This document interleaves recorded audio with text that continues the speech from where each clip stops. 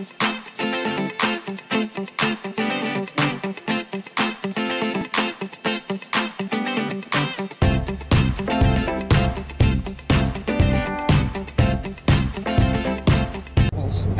down there. Hi there. but I just really did want to have roughly the same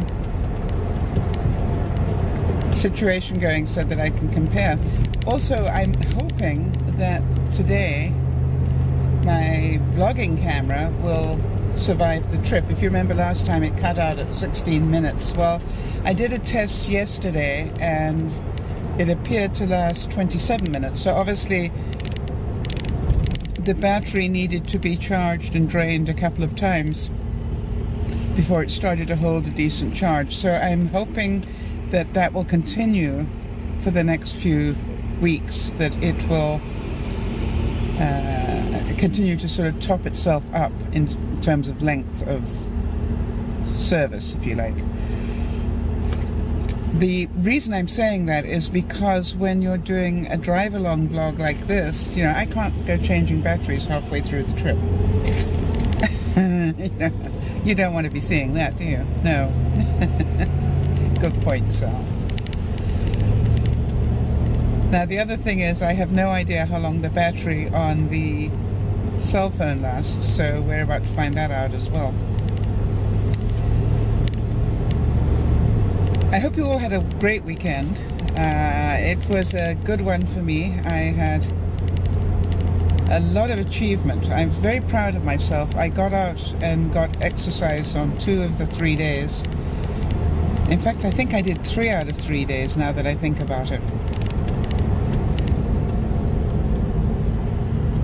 Uh, the only problem that I had is because I switched to a new cell phone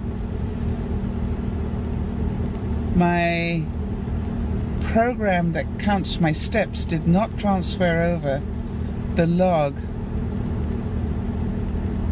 of what I had done on prior to Saturday.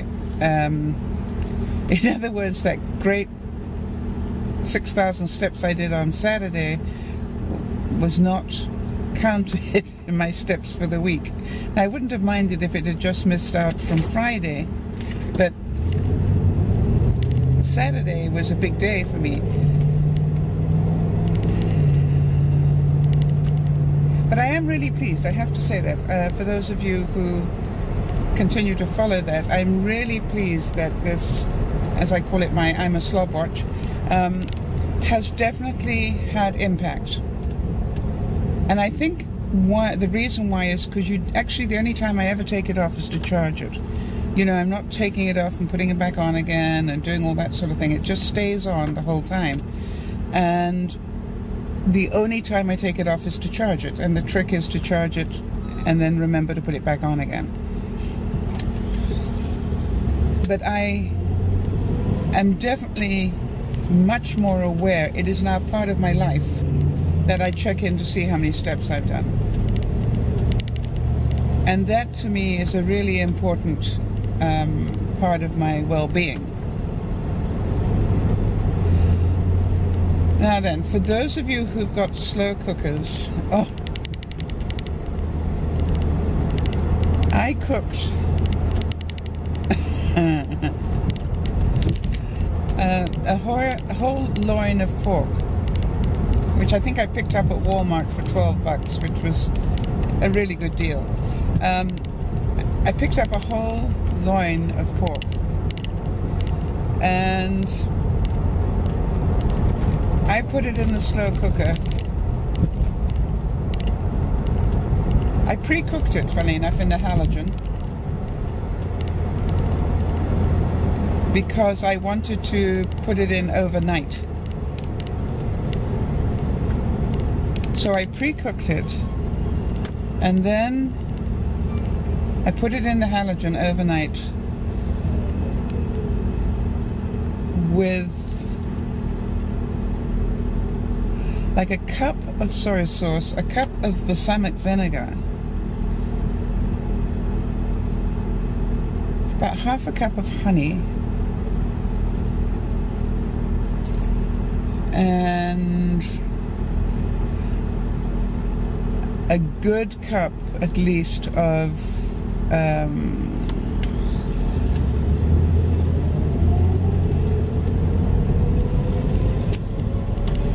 uh, what do you call it, son? stock. Uh, what do you call stock in Canada? Uh, in America? Yeah, right. You'll understand when you get to my age. Uh, I'll think of it in about six months' time. you know, when you crumble the cubes into the water, that stuff. or if you happen to have the Bovril one, you just squeeze some uh, over the top. But anyway, it, I had about a cup of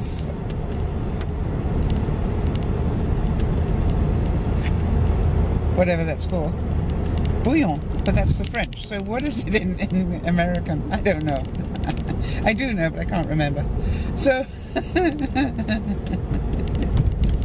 work it out.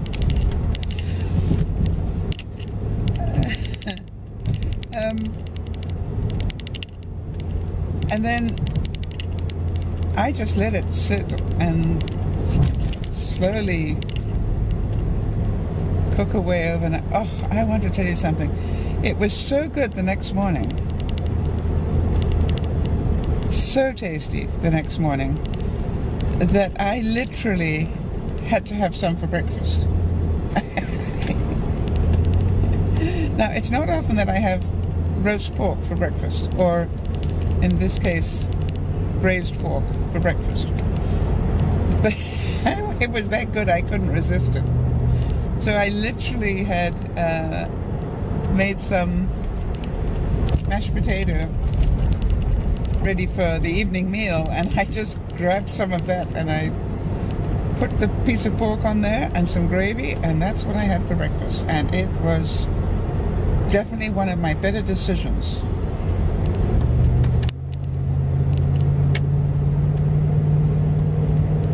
The For those of you who've been concerned about my fall on Thursday, I seem to be okay today. Um,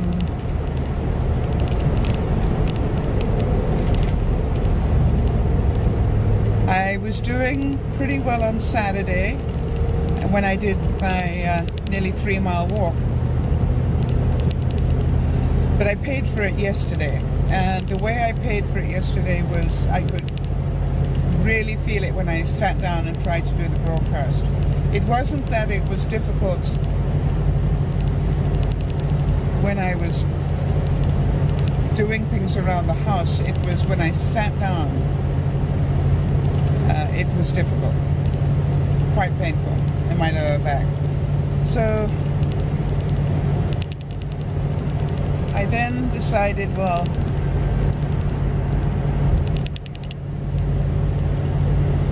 maybe my body needed a bit more ibuprofen, so I took some more last night before I went to bed, and I took a bit more about halfway through the night.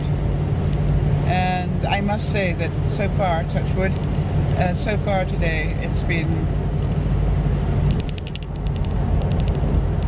it's been good. We'll get a better idea after I try to sit for a whole day at work. So on the exercise side, I am very, very proud of myself. I've done um, quite a bit. The interesting thing will be, will it translate into any change in my weight? The answer to that will be, that will depend on what I put into my system. And I'm really beginning to understand that that is the bugaboo here, which is I can do all the right things and be stronger, if you like, in certain ways because of the exercise, but losing weight has so much to do with what are you feeding into your body.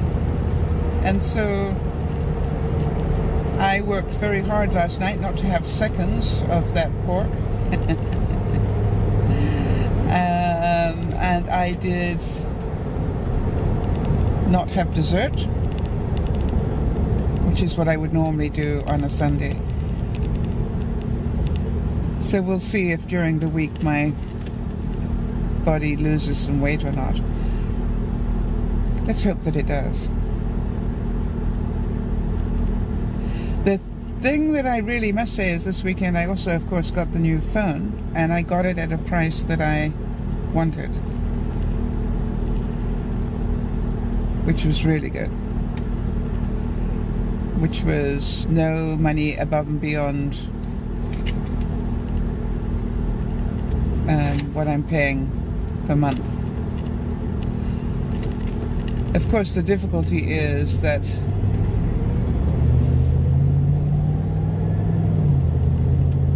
they just make you pay more a month.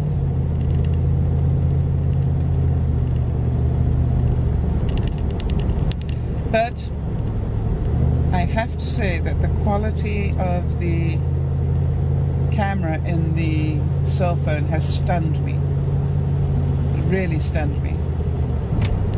I, I honestly believe that in some ways it was better than my Sony, but I, I've really got to do some comparative shots, and that's what I'm going to do one day. Is I'm going to do the same thing, but with my Sony and then with my cell to see the difference, and maybe even with my old cell to see the difference.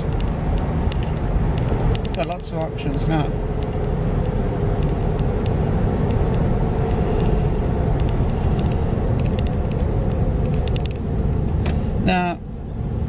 my Samsung is a what they call a locked phone.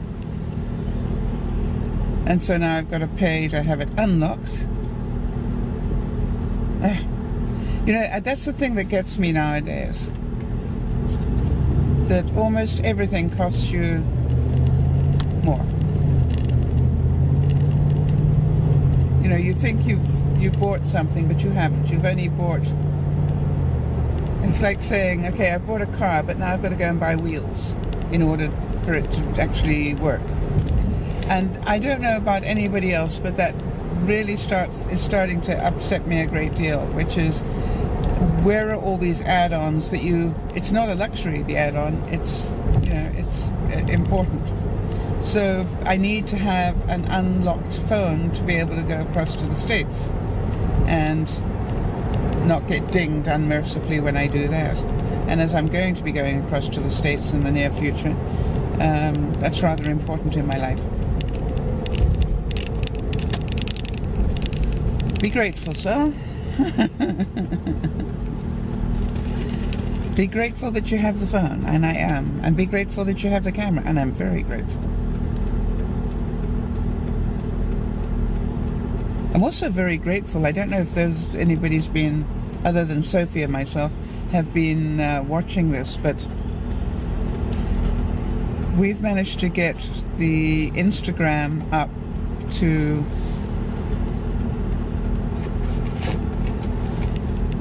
I think it was 1300 when I looked this morning.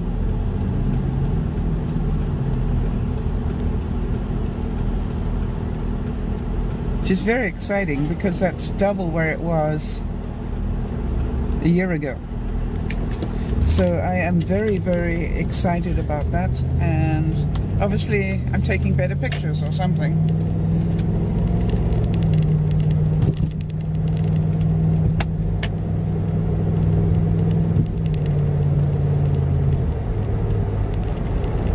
I'm going to start a series in the summer, sometime in the coming near future uh, of my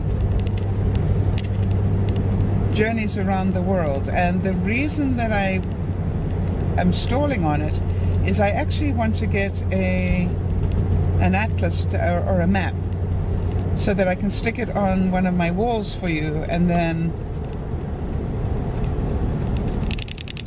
I can literally start putting push pins in it for you. That'll make a real mess of my wall. Okay, so I'm going to get a map, mount it on polystyrene, and then then I can push push pins into it. Okay, got it. Uh, because there are just so many places that I realize that I have visited in the world, and some have got some great memories attached to them, ones that I probably wouldn't necessarily think of uh, until I did that.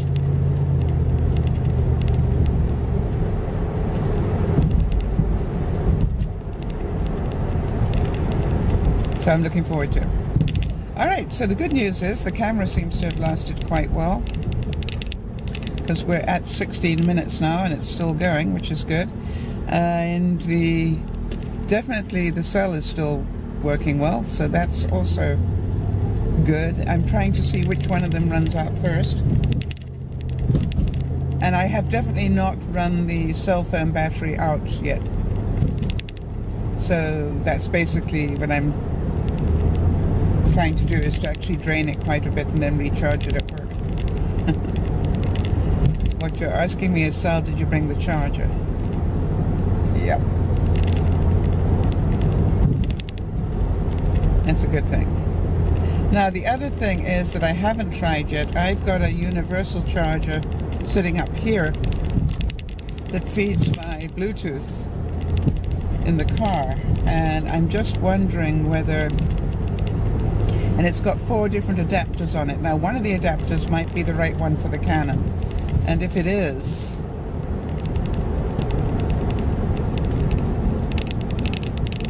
if it is then it isn't an issue because I will just put it on charge as I'm driving which will then not necessarily top it up but it will slow the amount of battery that it pulls. Yay, we like that. And the other thing I did um, was I pulled down the quality of the picture by one notch. Because I thought that would take up less everything. Big news is that for those of you who remember Zach and his daddy Cody um, and his wife Bronwyn, they are imminently about to produce another baby.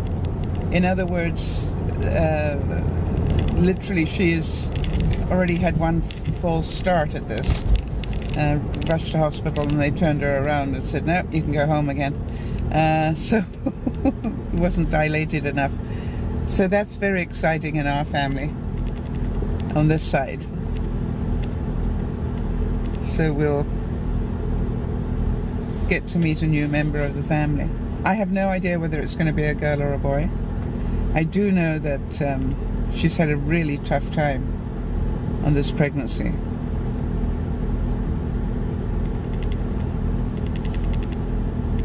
I think some people just do. You know, some people literally get pregnant and drop babies, and other people have a really tough time of it. And um, she is one of them. So I'm sure she will be just only too happy if the baby comes out healthy.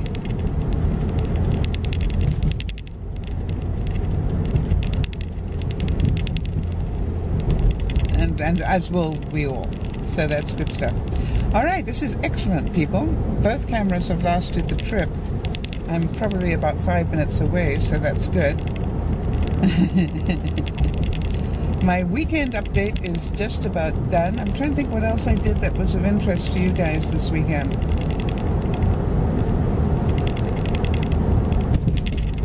I'm trying to practice a little bit more about doing um, videos when I'm out and about because I realize that I will need to do that more when I am retired. Although how much I'll be going out and about, I don't know. But I'm going to try and force myself to do at least one trip somewhere every week.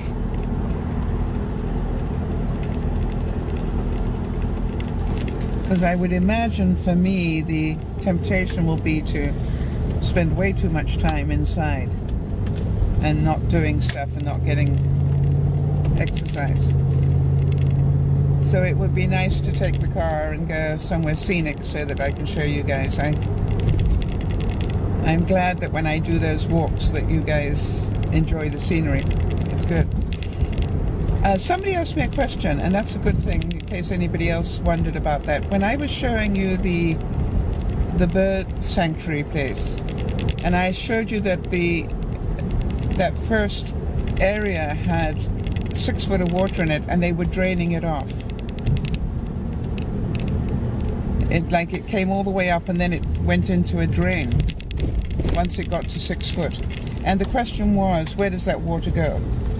And that was a good question. I spent some time trying to research it to find out how they had designed that whole fen.